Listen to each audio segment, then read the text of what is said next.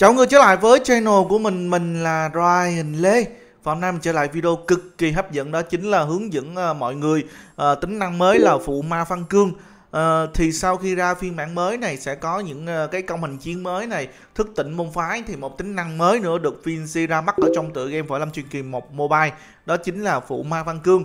Thì ở trong video này mình sẽ uh, hướng dẫn anh em sơ sơ về cái phụ ma văn cương để cho anh em uh, có một cái cái uh, có một cái kiến thức kiến thức để anh em có thể uh, lựa chọn ép vô đúng đắn nhất và tiết kiệm nhất nha. Thì mình xin cảm ơn anh Châu Phương uh, cũng như rất là nhiều anh ờ, uh, S1 đã ủng hộ mình trong suốt thời gian qua. Thì để mình review sơ server của X1 cho mọi người nha. Đầu tiên top 1 là anh HA thủ địa này. Top 2 là anh uh, SG Thần tài. Top 3 là anh Châu Phương. Top 4 anh Nhạc Dương Lầu. Top 5 Ma Thần. Top 6 Thúy Kiều. Top 7 Ra Nguyễn. Top 8 Phi Thiên Vũ top 9 Hiền Hồ, top 10 Trương Tam Phong, top 11 uh, ISMA, top 12 Lục Long ở server này thì anh top rất là khủng luôn. Uh, thì ở trong video này mình sẽ hướng dẫn xong rồi trong video sau ấy mình sẽ review anh uh, Châu Phương và mình sẽ review anh Thiên Tôn tại vì uh, đa số mình thấy uh, anh em nên uh, theo dõi anh Thiên Tâm úp đồ ấy tại vì anh úp ờ, uh, úp đồ trước ấy thì anh sẽ có kinh nghiệm nên mình mình sẽ một cái một video hướng dẫn xong một cái video uh, review ấy để cho mọi người xem ấy. Là theo theo mọi người cái phiên này cái phiên rèn này này thì sẽ là rèn cái phiên nội công hay chí mạng. Tại vì ở đây thực sự nếu mà nói về rèn viên này ấy thì chỉ có hai phiên em lựa chọn là ngon thôi một là nội công hai là chí mạng. Mà đa số uh, mình thấy anh em nội công là nhiều tùy mọi người thôi nha. Thì ở trong video sau mình sẽ review những anh top để cho các bạn xem ấy ờ, là uh, những anh em những anh top đó sẽ ép cái gì để cho anh em có cái chặng đường ép đúng đắn nhất nha. Và các bạn cần mình làm video nào đừng quên like subscribe kênh ủng hộ mình. Thì thì bây giờ mình sẽ vào luôn video hướng dẫn anh em tính năng phụ ma. Thì đầu tiên cái tính năng phụ ma này thì đầu tiên các bạn phải hiểu là ở đây thì điều kiện để mà anh em mở tính năng này là máy chủ mở giới hạn level 99 là có nghĩa là anh em mà level ờ, 99 là ok nha. Đây tiếp tục bây giờ, đầu tiên các bạn muốn rèn luyện cái phụ ma này các bạn sẽ tốn, thứ nhất các bạn sẽ tốn bạc, thứ hai là tốn bộ điện thạch, thứ ba là thuê vụng trì nha. Và cuối cùng sẽ là những cái văn cương phụ nha. Thì đây các bạn sẽ tốn đầu tiên là cái viên văn cương chính đây cái viên kim cương chính thì anh em bỏ cái viên sức mạnh vô đây chọn vô. Thì tiếp tục các bạn cần tốn nguyên nguyên liệu là cái búa này ờ, uh, bỏ viên thạch này và ba viên phân cương phụ nữa. Đây nha là phiên chính có nghĩa là phiên chính và ba phiên phụ là mất luôn nha anh em. Anh em khi mà anh em uh, rèn ấy nó sẽ có thuộc tính ờ, uh, mơ thuộc tính gốc này cộng thêm xong sẽ mất những phiên này luôn. Nên anh em sẽ nên lựa chọn như thế nào hợp lý là theo mình nha. Giả sử nha giả sử như ở server của anh uh, của anh uh, Châu Vương. Đang là cấp 17 cấp 17 đi. Đây là đang bật đồ cấp 17 thì tất nhiên cái viên nội công sẽ là 16 thì anh em nên nên ép những cái phiên 14 là hợp lý. Thì ở đây các bạn lưu ý này thì các bạn lưu ý là giả sử như ở đây là anh ờ, Châu Vương ảnh đang là bậc 17 thì anh sẽ xài cái phiên nội công 16 thì các bạn nên các bạn nên uh, nếu mà rèn ấy các bạn có thể mua lại những cái phim 14 của những anh top mà ảnh núp set 16 ấy. À, ảnh núp set nội công 16 mình có thể mua là cái set 14 của ảnh để mình núp lên cái rèn phân cương này để tiết kiệm nhất.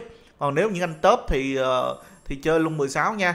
Thì ở đây lưu ý cho các bạn lưu ý là nếu như các bạn là những anh em chơi mà ở mức mà tháng nạp uh, tầm 10 12 chục triệu ấy thì làm sao để tiết kiệm? Thì ở đây giả sử như những anh top à, mở bậc 17 đi thì những anh top sẽ bán những cái set văn cương thủ là bậc 15 thì mình sẽ mua những cái viên 15 đó những viên 15 mới được rỡ ấy, mình sẽ ép vào.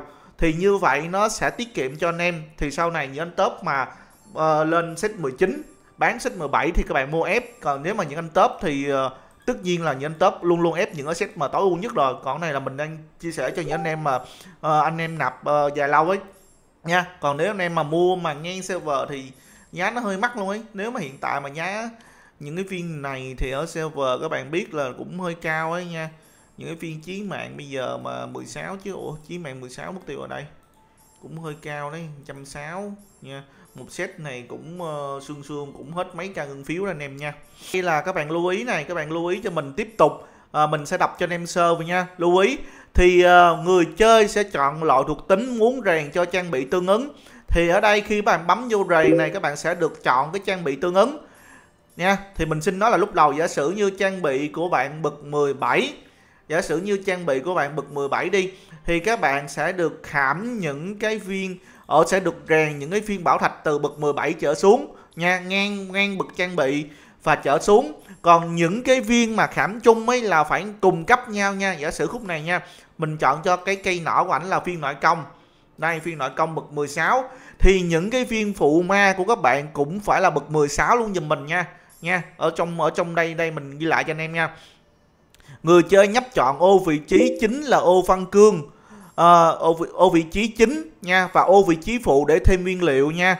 Thì sau khi chọn uh, hoàn tất uh, rèn ấy thì uh, các nguyên liệu sẽ biến mất sau khi rèn nha. Thì ở đây một số lưu ý này thì anh em lưu ý nha thì loại thuộc tính rèn vào trang bị là thuộc tính đã chọn ban đầu và cũng là thuộc tính của nguyên liệu văn cương chính.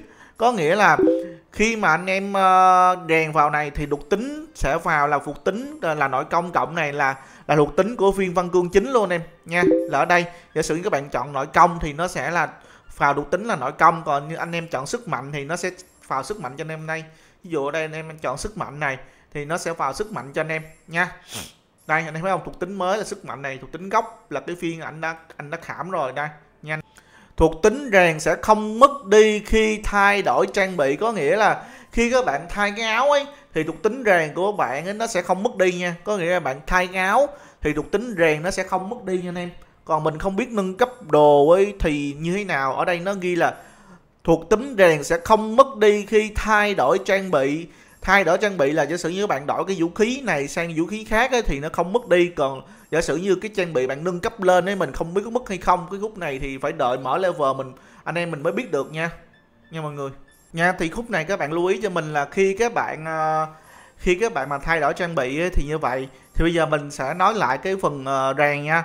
Đầu tiên thì các bạn rèn ấy thì giả sử như cái cây vũ khí của bạn hiện tại là bạn các bạn đang xài đá là nội công 16 đang là bậc X1 đi là bậc 10 17 thì cái viên nội công các bạn đang xài là bậc 16 thì các bạn có thể chọn ờ, đá cái viên ờ, các bạn hãy chọn gà rèn ấy, là viên 16 nè 14 nè 12 nè 10 nha. Nhưng mà quan trọng không có đá, mấy đều thấp thôi. Bây giờ chỉ ờ, đá gần nhất thôi là 14 thì còn có thể còn. Thì các bạn sẽ lấy cho mình cái viên 14 đúng không? Các bạn lấy viên 14 là cái viên nội công nha. Các bạn muốn viên nào chính thì các bạn để vô cái phần chính cho mình. Giả sử như các bạn cần chí mạng nha thì các bạn chọn vô đá chí mạng làm cái viên chính. Tiếp tục là ba viên phụ. Ba viên phụ là cái ba viên các bạn phải cùng cấp với cái viên chính. Giả sử như các bạn chơi đá viên chính là 14 thì cái viên phụ cũng phải là 14 luôn. Thì ở đây thuộc tính thuộc tính của cái ờ, cái này nó sẽ phụ thuộc vào cái uh, cái thuật cái uh, cái phân cương của bạn giả sử như ở đây phân cương của bạn ấy cúc này nha các bạn lưu ý nha phân thương của bạn ấy là thường thì đục tính ấy rèn sẽ là lam phân cương tinh xảo thì sẽ là tím hoàng mỹ sẽ là cam rực rỡ sẽ là vàng. Thì theo mình là các bạn nên chơi viên rực rỡ luôn chứ bạn đừng có đừng có thả mấy phiên thấp thấp vô nó tốn tiền xong rồi các bạn mỗi lần các bạn rèn các bạn tốn thêm búa bổ thạch lắm chơi luôn cho mình phiên rực rỡ. Có nghĩa là một món đồ chơi luôn phiên rực rỡ xong các bạn tích tiếp chơi cho mình nha có có nghĩa ở đây là các bạn sẽ khảm cho mình là cái phiên nội công rực rỡ luôn. Gắn tích tích uh, tích tích tiền xíu giả sử như không có đủ tiền mình gom bậc 16 thì các bạn gom bậc 14 các bạn chơi phiên rực rỡ luôn. Ba phiên phụ thì các bạn cứ lựa lựa cái phiên nào mà uh, ít ít tiền ấy. Nha ba phiên bèo bèo này này và lựa các bạn lựa phân cương rác uh, rực rỡ ấy, 14 luôn. Các bạn cho vào phiên phụ thì các bạn sẽ rèn được cái dòng thuộc tính nội công. Nha là cái phần tiết kiệm nhất cho anh em. Thì bốn phân cương có bậc hơn hoặc bằng bậc của trang bị, trong đó cần một phân cương chính có thuộc tính tương ứng với thuộc tính đã chọn, ba phân cương phụ bất kỳ, lưu ý bốn phân cương phải cùng bậc và cùng cấp sao với nhau. Các bạn lưu ý nha, mình đọc lại cho anh em nha. Bốn phân cương phải cùng bậc và cùng cấp sao có nghĩa là các bạn chọn ở đây, các bạn chọn phân cương bậc 16 rực rỡ, thì cái viên phụ của bạn phải là bậc 16 rực rỡ bất kỳ. Có nghĩa là các bạn hãy chọn phim 16 uh, uh, 16 thì sẽ có khiên bỏ kháng này cũng rẻ tiền này hoặc các bạn chơi những phiên khác tùy anh em nha. Bậc 16 thì có sinh lực hay là sinh khí gì đấy mình không nhớ đúng không em? 16 thì có sinh khí. Hay là anh em chơi những cái phiên uh, ờ, khác như uh, tùy anh em nha. Đây thì mình đã hướng dẫn cho anh em cái phần rèn rồi nó cũng không có gì khó cũng dễ nên quan trọng là uh, anh em tính làm sao cho nó hợp lý còn việc chọn cái dòng nào ở trong rèn thì bây giờ ở đây nếu mà cái vũ khí thì đa số mình thấy anh em lấy nội công. Còn cái phần cái áo thì mình thấy đa số anh em lấy kháng chí mạng. Nha đa số anh em lấy kháng chí mạng. Thì theo mình uh, cũng ok kháng chí mạng cũng ok. Cái phần uh, đá thì kháng chí mạng còn anh em chơi tăng thì lấy sinh khí. Nha kháng chí mạng và né tránh là hai phiên ngon hết rồi bây giờ chỉ có ờ, cái bậc ờ, lẻ thì kháng chiến mạng và né tránh là hai phiên ngon rồi. Nha anh em. Né tránh này chỉ có hai phiên này ngon thôi. Còn cái phần uh, giảm hiệu ứng thì có hồi xuân rồi không có cần anh em. Kháng chiến mạng phải né tránh thì anh em chỉ có lấy được hai phiên đó cho mình thôi nha. Thì nói chung thì uh, cái phần rèn này mình thấy cũng khá là khá là ok để cho những anh em nào dư phân cương ấy để anh em rèn. Nha mọi người cũng không có khó lắm cho anh em nha. Nha, cái phần rèn này nói chung thì theo mình là cái phiên vũ khí thì chọn nội công, cái áo thì chọn kháng chiến mạng hoặc né tránh. Còn cái vũ khí, những cái món trang sức thì các bạn nên chọn là nội công hoặc là chiến mạng. Nội công hoặc chiến mạng là hai cái ngon nhất thôi thì mình xin kết thúc video cho anh em về cái phần rèn ở đây nha. Thì mình xin nhắc lại cho anh em để anh em uh, có thể nắm rõ một cái uh, cái phần rèn một lần nữa. Mình xin nhắc lại nha. Đầu tiên giả sử như trang bị của bạn là bậc 17 giả sử đầu tiên là trang bị của bạn là bậc 17 mình ví dụ nha. Giả sử trang bị của bạn bậc 17 nha. Thì ở đây các bạn lưu ý bậc 17 thì các bạn có thể xài những cái đá như là bậc 10 bằng cấp hoặc là dưới cấp. Nha có nghĩa bạn hãy xài ở đây cây vũ khí thì có thể xài cây à, nội công này 16 14 12 10 nói chung là thấp hơn trang bị là được thấp bằng hoặc thấp hơn. Nhưng mà thường thường ấy nó sẽ còn đá 14 là hết cỡ rồi không có còn đá nhỏ đâu anh em. Nên anh em sẽ còn cho mình là đá 14 đá 14 thì đầu tiên các bạn sẽ bỏ cái viên uh, cái viên chính vào là cái viên uh, cái viên các bạn cần cái thuộc tính đó giả sử như bạn chơi cần nội công thì các bạn bỏ viên nội công vô. Các bạn cần viên sức mạnh thì bỏ viên sức mạnh vô. Và ba viên phụ phải là viên cùng cấp và cùng cấp sao ok khúc này giả sử như bạn chơi cái viên nội công uh, một sao thì các bạn ba viên phụ một sao. Còn các bạn chơi cái viên nội công 3 sao thì ba viên phụ này phải là viên bậc 16 phà ba sao luôn. Các bạn hãy chơi ba viên bất kỳ. Nói chung là ba viên rẻ tiền hay gì đó là các bạn uh, quan nhưng quan trọng là cũng phải ba sao để các bạn khảm vào đây nha. Cũng phải được rỡ. Ấy.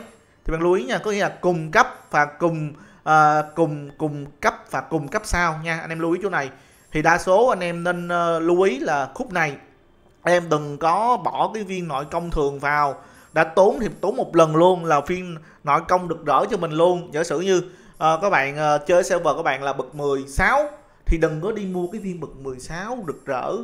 Nó cũng tốn lắm trừ khi mà anh em đại gia thôi. Còn nếu mà anh em chơi mà tài chính mà tháng nạp 10 20 triệu ấy thì cái viên 16 thì các bạn nên mua lại những cái viên 14 thường thường anh anh em top lên bậc 16 ấy sẽ bán lại viên set 14 luôn. Thì mình mua lại sẽ rất là rẻ để mình có thể ép vào những đây nha. Thì khi mà những anh top lên bậc 10 uh, 8 ấy thì mình sẽ chơi 16 thì tuy mà mình chơi thấp hơn một bậc mình sẽ bị giảm sức mạnh tí xíu nhưng mà các bạn sẽ được cái là à các bạn sẽ tăng tiến sức mạnh đều. Tuy mà thua những anh top tí xíu thôi anh top uh, tí xíu thôi nhưng mà các bạn sẽ vẫn có tài chính để các bạn nạp đều đều. Chứ mà các bạn đu theo từng bậc từng bậc ấy nó sẽ rất là khó cho mọi người nha. Thì tùy anh em uh, thôi nha nha. Thì mình xin uh, kết thúc cái video uh, phân tích cho anh em về cái phần uh, rèn uh, phụ ma văn cương ở đây nha. Thì anh em nào cần uh, bất kỳ vấn đề nào cũng như các video nào nữa thì cứ liên hệ hoặc comment giúp mình và đừng quên like subscribe kênh ủng hộ nha. Chào mọi người hẹn mọi người trong video kỳ sau. Chào mọi người.